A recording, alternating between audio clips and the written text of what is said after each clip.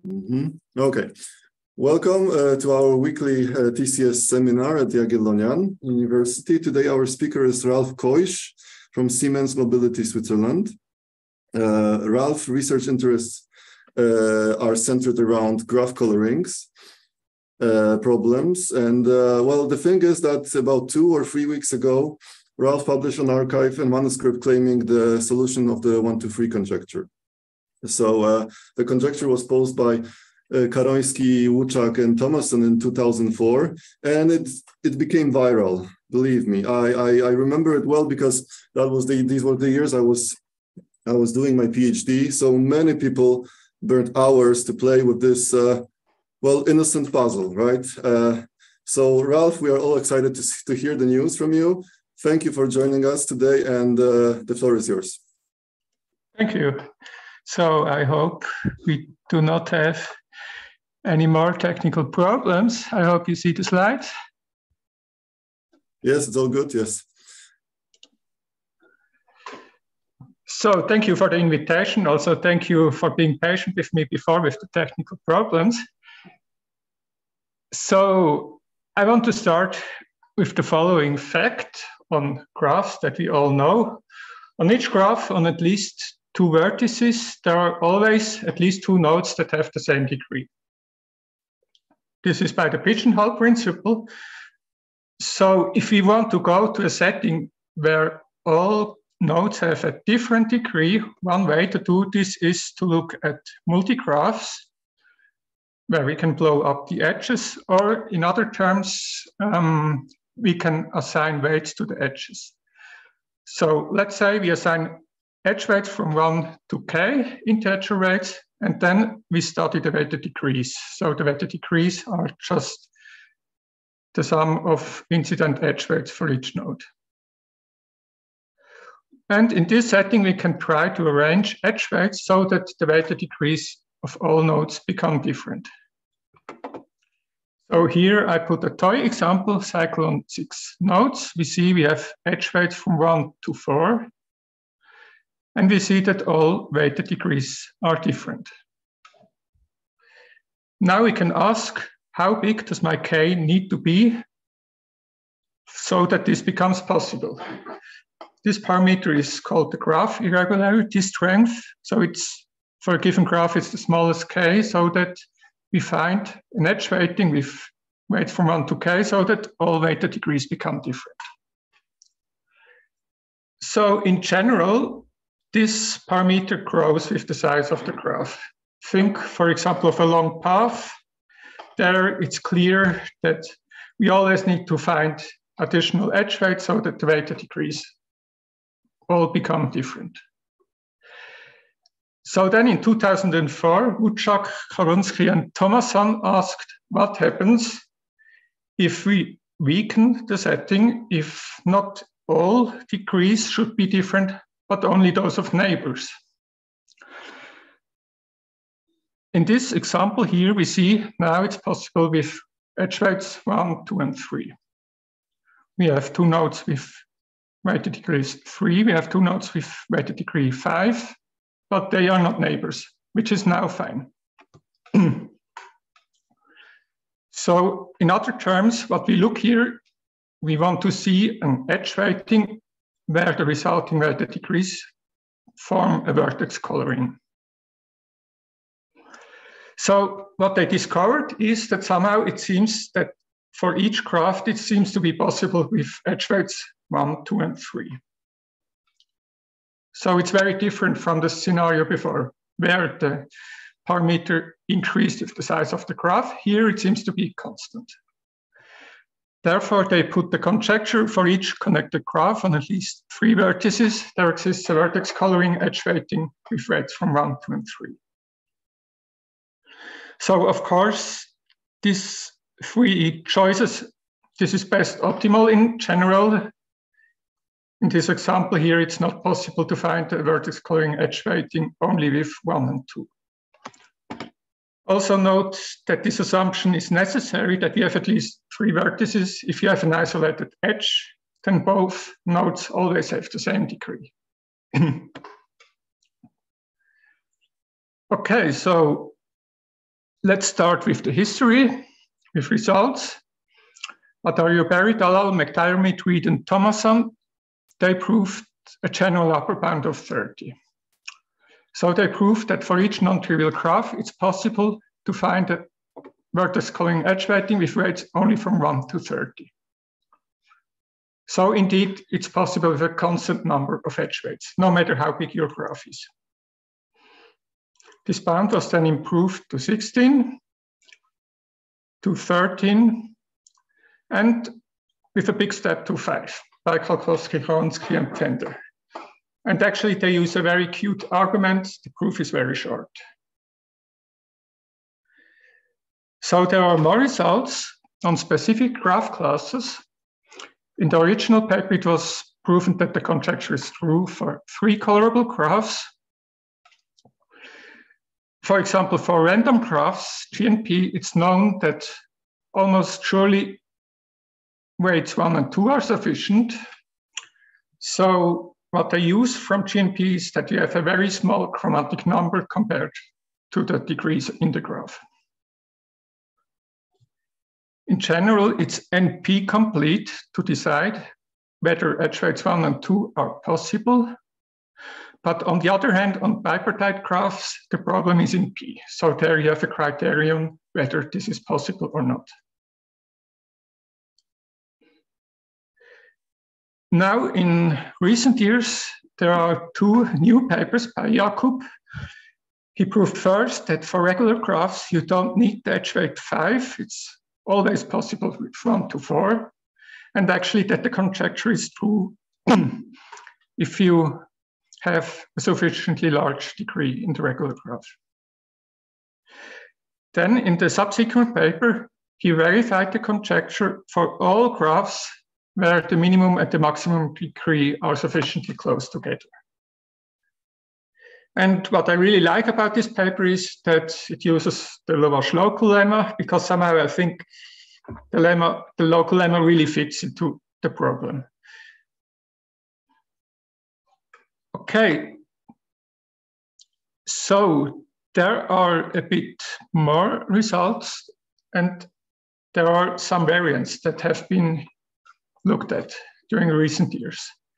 A very natural variant are total weightings. Here, um, you not only put weights on the edges, but also each vertex gets a weight.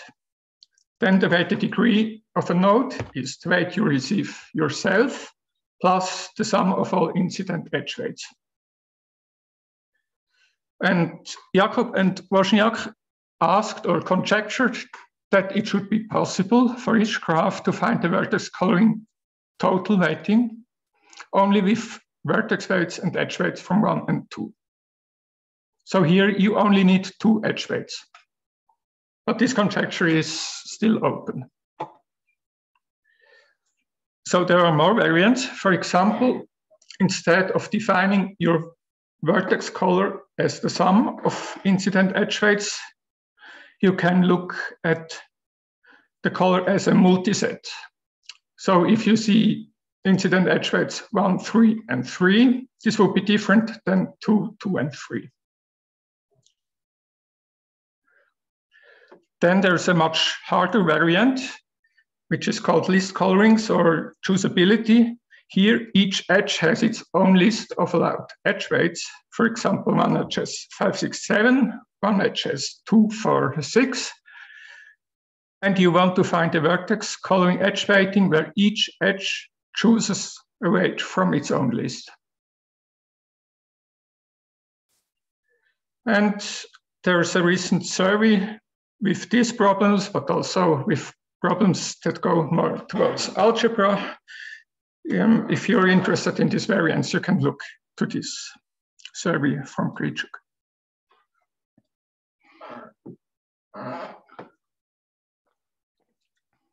Okay, so now let's go to today's topic. I want to go back to the general setting.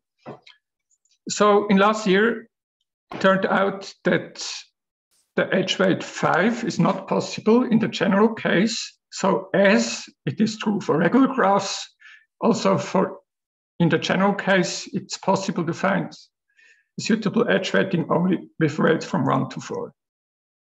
and now, finally, in the last months, it turned out that actually the conjecture is true. So if you have a connected graph on at least three vertices, then we only need edge weights 1, 2, and 3. Okay, so this proof here is based on the first result. It's kind of, yeah, the main tools I think are already present in the first result. Therefore, I decided that first we look into the proof of the first result, not into the details, but just an overview. And then we see what are the additional tools that I need for this result. okay, so how is the proof going for the case for? We take the graph and at the start we remove a vertex. Um, we will see later why we remove this vertex. As a next step, we take a maximum cut of the remaining graph. So we take a maximum cut ST. And the idea behind this cut is that the vertices in S should get an even weighted degree, and the vertices in T should get an odd weighted degree at the end. So, of course, the number of nodes with an odd weighted degree needs to be even in the graph, and this is why we need this extra vertex. If my set T has an odd cardinality, then we need this node here to balance out things. Then we start by giving each edge either weight 2 or 3. And we do this in a way so that the vertices in S already have an even weighted degree and those in T have an odd weighted degree. So then the remaining coloring conflicts are only inside S and only inside T, but not across the cut.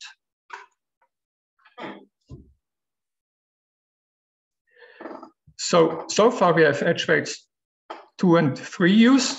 If we have one and four also available, then we are free to adjust each edge weighting by one in both directions. And this is what we'll do in the next steps. So what is our strategy to solve this remaining coloring conflicts? We start with an ordering of the vertices, with an arbitrary ordering, and then we define so-called designated colors for each node, one after another. And the idea behind these colorings, behind these colors is that first we define the colors so that there are no conflicts, and afterwards we modify the edge weights so that the weighted degrees coincide with the designated colors. So how do we pick these colors? Um, if we look at the single vertex Vi, we look what's its current weighted degree, Ci, and how many earlier neighbors do I have on the same side of the cut. So this is Di. So for each earlier neighbor on the same side, I have to take care of that I do not produce a coloring conflict. So we choose our designated color from this set. How does this set look like? My current color is already here, but if I have earlier neighbors on the same side, maybe this color is already used. It's already blocked by a neighbor. Therefore, we add some additional potential colors, and we add all even numbers in the interval ci minus 2di until ci plus 2di. So here we have kind of a selection of colors. The size of this set is 2 di plus 1. And we pick our color from this set so that it's different from all earlier neighbors in, on the same side of the cut. Because this number is di, we see that at least one color will do the job. so then we picked our colors and the remaining task is that for each node Vi, we have to change the weighted degree by an even value. And this even value is at most 2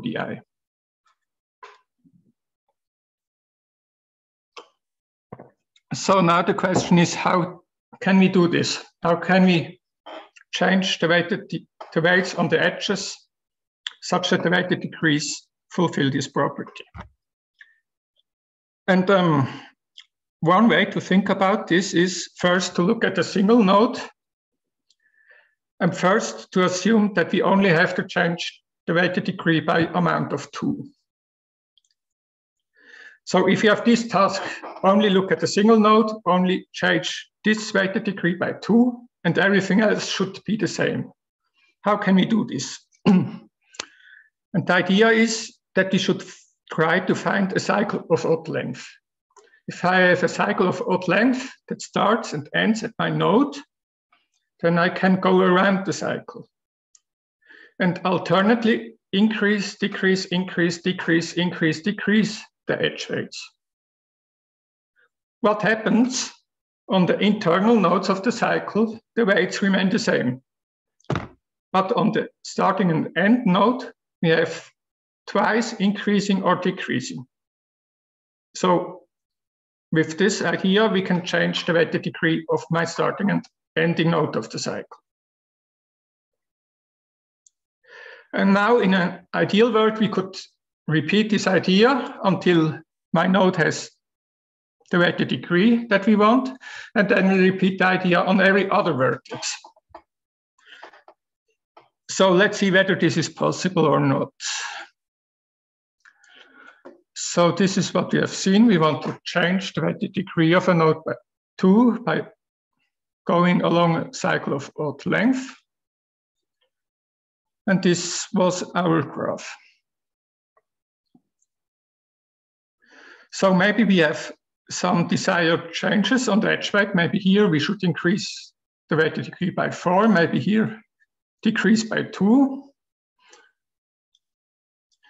And we want to find the cycle by first using an edge inside our set and then close the cycle near the edges between the cut. So the remainder of the cycle then should be inside the bipartite graph between S and T.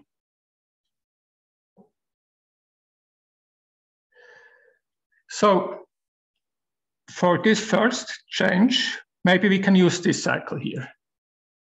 We start with the edge inside T, which should decrease its edge weight. And then we close the cycle with these two edges, increase, decrease, and then we get the desired change on the weighted degree. Then let's continue with this node. We do a first change. With this cycle here, I can decrease the weighted degree by two. But I want plus four, so I need to find a second cycle. Of course, I can start again here, but now we see we run in a problem because no edges are free anymore. So the idea does not work directly, but um, maybe now you see it. We start with a plus, so we want to continue with a minus. So for the minus, maybe I could use this edge here. So we had a plus, but I can also put the minus on there, then we are back at the start. So the cycles somehow overlap.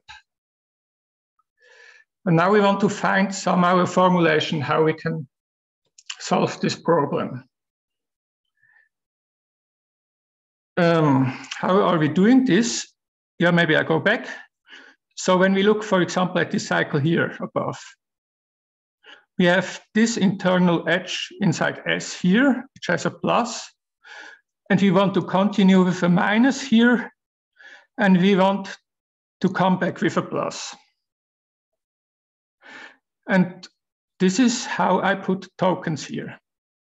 So I only take the starting edge of the cycle and I put tokens how it should continue.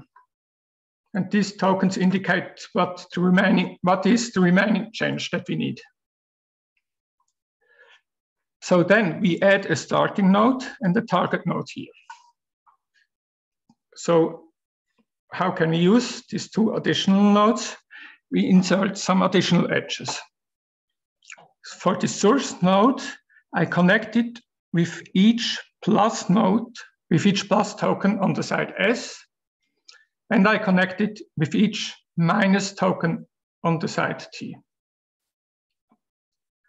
The target node, it behaves the other way around. I connect it with the minus tokens on the left side, and I connect it with the plus tokens on the right side.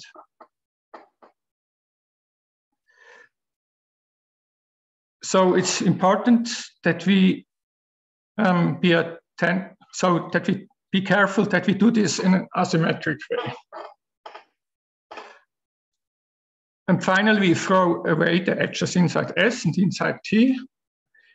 And now we have an auxiliary network. And in this network, we will try to find a flow from S to T. So we want to find a flow of value K, and K is the number of, let's say, intended cycles. So in this example, we have three intended cycles. We see that the degree of S is free by construction. The degree of T is also free by construction.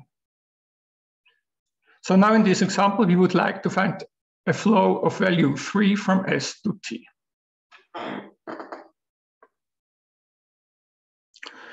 So here, actually, it's possible to find the flow. I made some arcs so that you see it. And now, what are we doing with this flow? We consider the edges between S and T that are used by the flow. For each arc that goes from S to T, we increase the edge weight. And for each arc that goes from T to S, we decrease the edge weight. So this is the only rule that we have. Now, because we find a flow, we know each edge here is used just because we find a flow of maximum value. But this arc goes to a plus token. So we are somewhere here the path from the flow needs to continue to the right, so it needs to continue with a plus edge. So indeed, we do the change that we want. We also know on the internal nodes, we do not make any changes because plus and minus cancel out. And then if we end up on side S, we know we end up with minus token, and the minus tokens are connected to the target node. And on the other side, on T, it's completely the other way around. And both sides together, they do their job. For example, we see this with this orange edge here. It connects a minus token with a minus token. So we do the job actually on both tokens on the same time.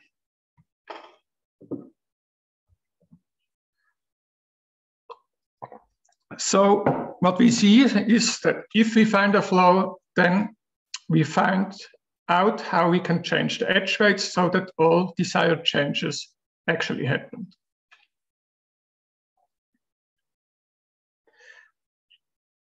And maybe we can take away the additional edges, S and T, and then we see what remains. So in our example, this would be the edge changes that we have done. So of course, now I have to show you whether the flow exists or not. So I want to prove that the flow always exists. So I want to denote with big F the set of starting edges of our intended cycles. So if I go back, we would have this edge, this edge, and the one edge here in our set big F. and assume by contradiction that there is no ST flow of this value. Well then, by the standard Max-Flow-Min-Cut theorem, there must exist ST cut, so small s, small t cut, AB, this orange cut here, of size smaller than size of big F. So let's assume we have a cut of size x and x is smaller than the size of f.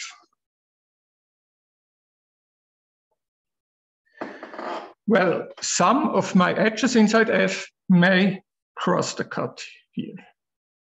Let's denote them by F star. But maybe there are some that are not crossing the cut. Some edges here, but the important thing is that for such an edge, I have one of the two, at least one of the two auxiliary edges is also crossing the cut. So for each edge small f that is not in f star, either its S arc or its T arc is in the cut AB.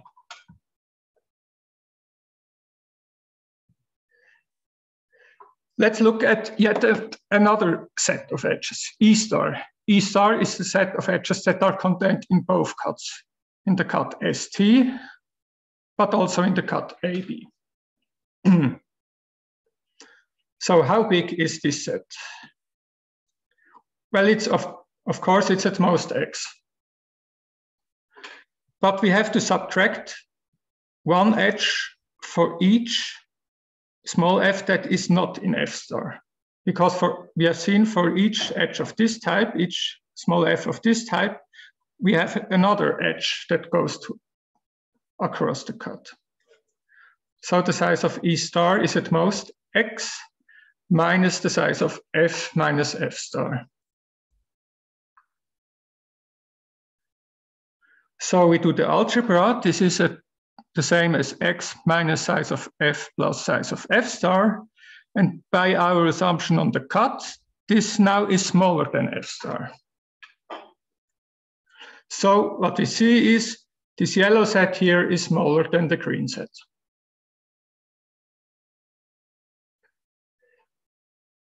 Now we can go back to the original graph and we look at the third cut. Third cut is the red one. It's the upper left part together with the lower right part together on one side of the cut. And it's the lower left and the upper right on the other side of the cut.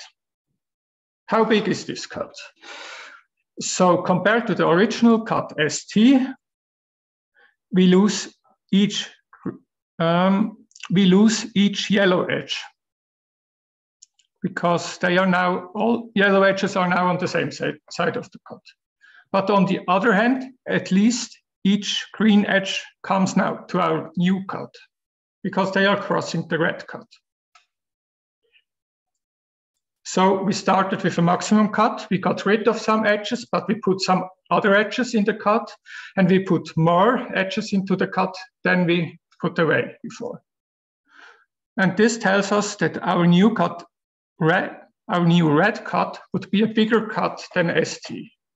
But ST was already a maximum cut, so we have a contradiction.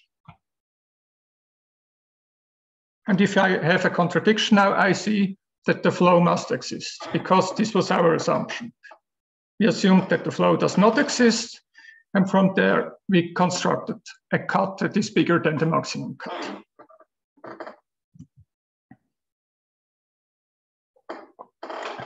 So let's summarize what happened in the case four. We started with a maximum cut. We started with edge weights two or three. The weighted degrees are even on one side and on the other side. Then we defined designated colors that are the proper vertex coloring and that they should be not too far away from the current weighted degrees. And then we constructed the flow problem to find the flow and to see how we can modify the edge weights so that the weight decrease and the designated colors are the same. Okay, so now we are ready to go to the next step. So we want to get rid of edge weight four. Here we start with weight two on all edges. And now the additional tool that we need is an independent set. So I call them red nodes. It's an independent set that we take and we choose it in a way so that the graph between R and the other nodes is connected. So we have this independent set of red nodes. The other nodes, I call them blue nodes. And we want to choose the independent set in a way so that the bipartite graph here is connected.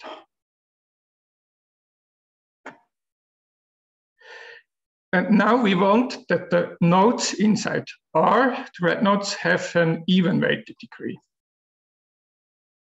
Then, of course, there are no coloring conflicts here. And at the blue nodes, we now apply the idea from before. So we choose a maximum cut, ST. Of course, all nodes here should have an odd valued weighted degree, but we need an additional difference between S and T, and we do this by saying nodes in S should have a weighted degree that is 1 modulo 4, and the weighted degrees in T should have a value that is 3 modulo 4. So then again, coloring conflicts appear only in S and only in T once we have established this setting. So now, again, our task is to define designated colors.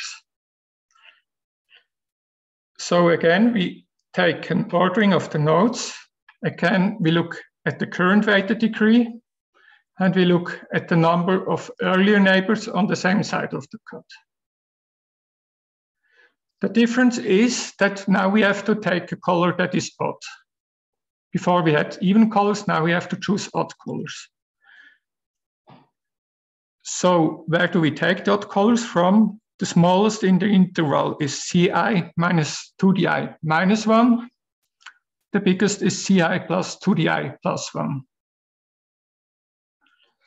So the size of this set is again 2di plus 2. So my color should have a correct value modulo 4. This is already given from the slide before, meaning that half of the potential colors fall away. So then we are left with di plus 1 potential choices. There are at most di choices that are blocked from my earlier neighbors. Hence, there is at least one color from the set that remains. So we have at least one color that is possible to choose so that the color is different from all earlier neighbors and which has the correct parity modulo 4 at the same time. So once we have this color, our task is again to change the weighted degrees. In contrast to the setting before, the change should be odd, and it should be at most 2di plus 1. Um, so we cannot apply our flow setting for these changes because the flow setting gives us changes that are even. But what we can do is we can pick an intermediate color. So we pick an intermediate color that is one away from the final color, but which is also at most 2di away from my current color. And then for this intermediate color, we are exactly in the setting from before.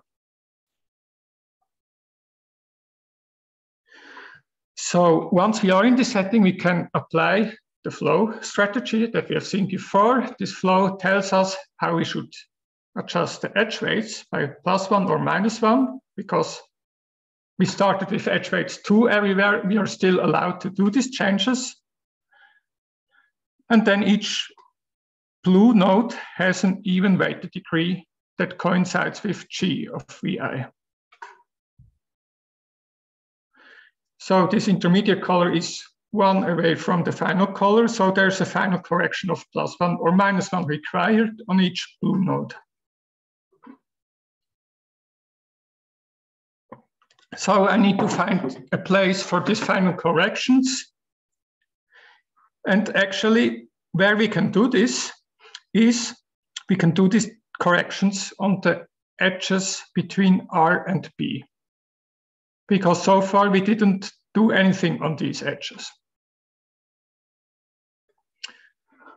So we are somehow at this situation. We have the red nodes, we have the blue nodes. On each blue node, we have either plus one or minus one, indicating what is the final correction that is needed. So then we take a spanning tree between R and B.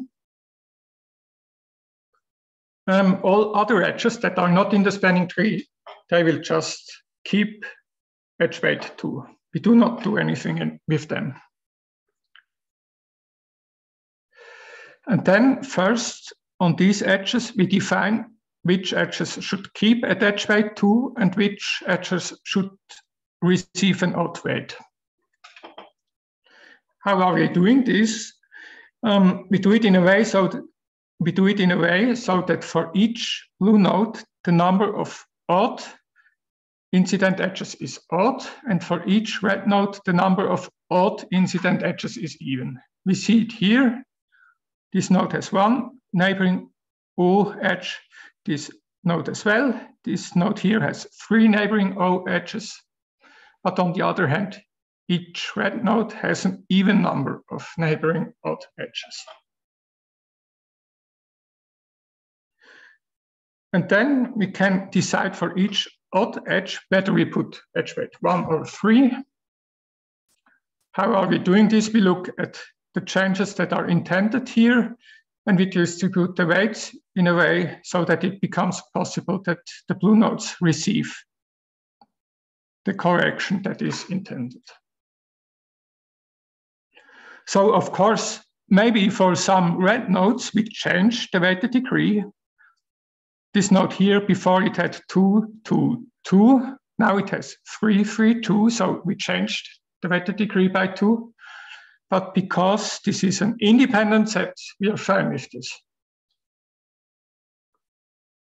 So the weighted degrees in R remain even.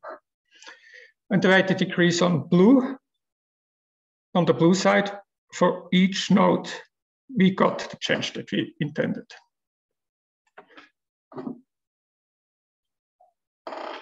So it seems that we are done. but if you're careful, then maybe realize there's a problem in this approach. So again, somehow we have the assumption that the number of blue nodes should be even. Otherwise, this will not work out. And actually, this is quite an issue. So our approach requires that we have an even number of blue nodes. And we have to find out a way how we can tackle this issue. And unfortunately, we have to do a case distinction that is, yeah, not as short as we would hope. So there, are quite, there is quite a number of cases that we have to go through. I do not want to show you all cases, but I want to show you a bit how, how we can handle them and how the flavor is. So first, let's assume that the graph has a leaf. This is somehow an easy case.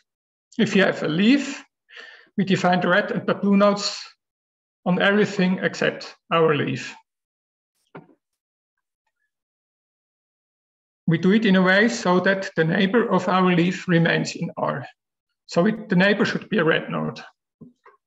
And then there are two cases. Either we have an odd number of blue nodes, then I can put my leaf into the blue nodes as well, and we are done. If I have already an even number of blue nodes before looking at the leaf, then we have to keep the leaf even. So then the even nodes are not no longer an independent set.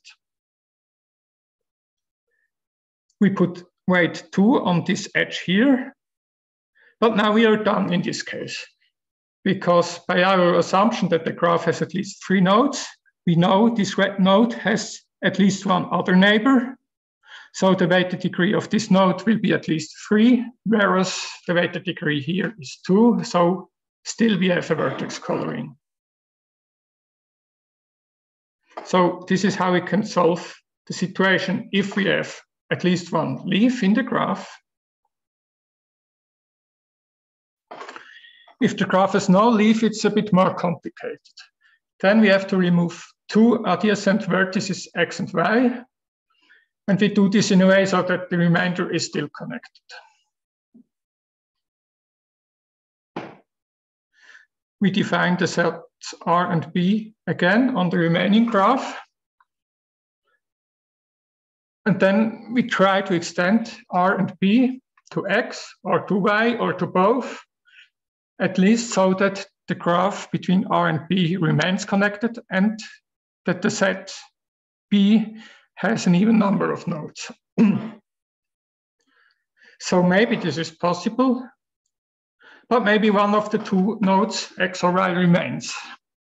And if it remains, it will play the role of an extra node V0 that cannot be handled somehow.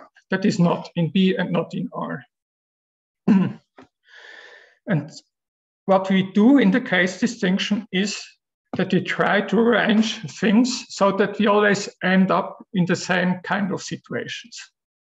So we try to end up in one of, I call it now, escape situations for the extra node. How do these end situations look like? One situation is where the extra node has an even number of neighbors inside R. Then what we do is we want to put odd edge weights onto the edges between the extra node and R. So here I want to put one or three. So when putting edge weights between R and B, we have to be careful that with these additional odd weights, the nodes in R become even valued. But once we are here, we can play around with these edge weights. So by putting here one or three, we modify the edge weight here, but we also modify the edge weights here. And then, because we have always a choice on each edge, we have enough degrees of freedom so that it becomes possible that this weighted degree is different from all its neighbors. For example, you can put one everywhere and look, is this possible? If you have a conflict, you can put three everywhere, look, is it possible or do we still have a conflict? And otherwise, you start with one everywhere and you increase edge by edge to three until you have somehow a gap where the extra node fits in. The second case is somehow the same, but we have an odd number of neighbors inside R. Here, what we need is yet one additional neighbor that is in B. Because we need to put an odd weight here so that we can put one or three here and the weighted degree here becomes even. If I would not have this edge here, I would need a two somewhere, somewhere here. And if I have a two, then I do not have enough degrees of freedom for solving all conflicts here.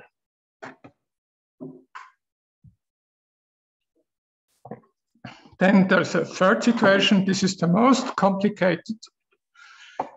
Um, it's a situation where the extra node has only one neighbor in R. Maybe we have a conflict here, and then we cannot solve the conflict directly on this edge.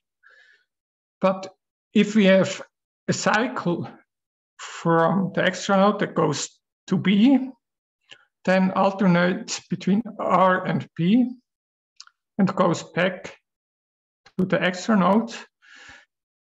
And actually, which does not use this node here as internal node, then we can change edge weights on this cycle. So we can play around here, and one of the two choices will solve our conflict between this node and this node.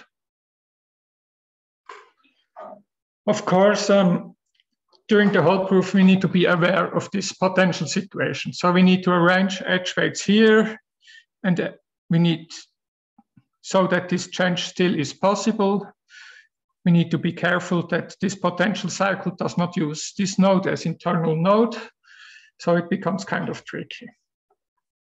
But it turns out that actually we can always end up in a situation where we can extend the edge weighting to the full graph without introducing new conflicts.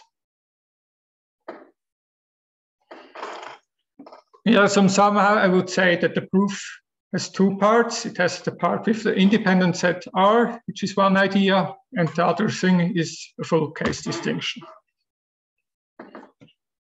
All right, so I have two slides remaining. One slide, I think it's worth to look at examples because, I mean, this is a problem which is interesting even on small graphs. And this is the way I got into the problem by playing around. The small examples look as a puzzle. How can I find the edge weighting? And now we can see what happens with our strategy. So on this graph here, we have only two blue nodes. We have an independent set of size three. And here we have an extra node that was remaining we see designated colors on the blue nodes, 3 and 5. The edges here are so that these colors are reached. And here on the green nodes, um, we had to find out how we put the edge weights. If I will put 1 and 1, I would get weighted degree two, 2 here. I would have a conflict with this neighbor. So then I increased the edge weight to my highest neighbor, to three. Highest neighbor was this one here. Now I have six here, two here, and four fits perfectly in between. The second example that I want to show you is K5. Here we have only one red node. We have four blue nodes. We have the maximum cut ST. We have designated colors here, 9, 5, 7, 11. And we have somehow intermediate colors here, 6, 8, 8, 10. Then we apply here the flow strategy. This tells us you need to change the edge weight on the orange and on the green edges to actually reach these intermediate colors. And then some remaining changes can be done with the edges between R and B. For example, this node here has plus one. We need to increase the rating by one to, for going from 10 to 11. And we do this by increasing this edge weight from two to three. And then when we do this on each node, this node here becomes even weighted. So all other edges, these two edges, they are weighted with two in this example. Okay, so the last slide is a remark about the algorithmic complexity. So the proof is somehow constructive, but at some point we need to find a maximum cut, which is NP complete. But I think that this should not be necessary. Instead of taking the maximum cut, we could start with an arbitrary cut. And then we try to find our flow. If we find the flow, we are fine. If we do not find the flow, by the argument that we have seen before, we find this red flow, uh, this red cut across, and this red cut is a bigger cut than our initial cut. so then we will continue with the red cut, apply the idea again. Either we find a flow, or again we find a bigger cut. So we can iterate, iterate, iterate, but at some point we cannot extend the cut anymore. At this point, we have not a maximum cut, but a maximal cut, and there the flow should work. And therefore, I think it should be possible to find actually the vertex coloring edge weighting in polynomial time,